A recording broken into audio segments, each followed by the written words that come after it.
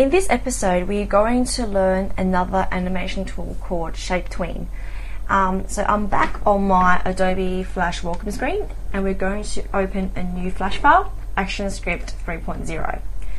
What we're going to do is we're going to just draw a circle. So I'm going to draw an orange circle here. Like with any other animation, I need to open up my timeline by clicking timeline at the bottom of the screen.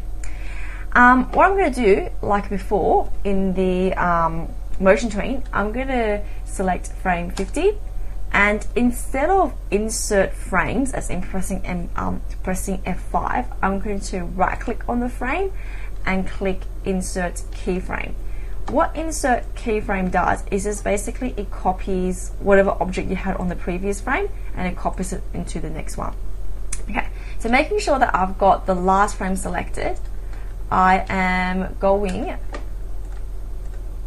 to use the sub selection tool and click on the border of the orange circle. When you do that, you can see there are green rectangular handlebars that comes out of it.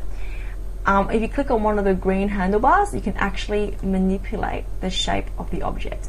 So I'm going to do one on each corner just to make like a little sort of cut shape out of the circle.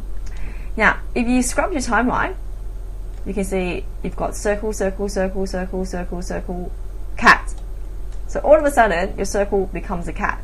So that's not really an animation because it's a bit too sudden. What I can do is to sort of make the circle morph into a cat. I just click sort of anywhere in the middle. So I select frame 25, go to insert and select insert shape tween.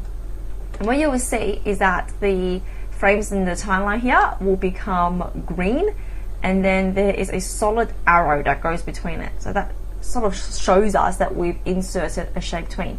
And you can also see now, if I scrub the timeline, that the circle slowly becomes a cat.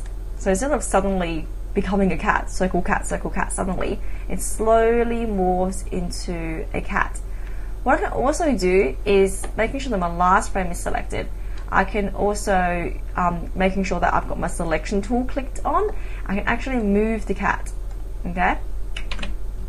Making sure the whole thing is selected, I can actually move the cat so that now if I scrub the timeline, the circle is morphing into a cat and it is also and I'm moving from left to right as well. So you've got morphing and moving.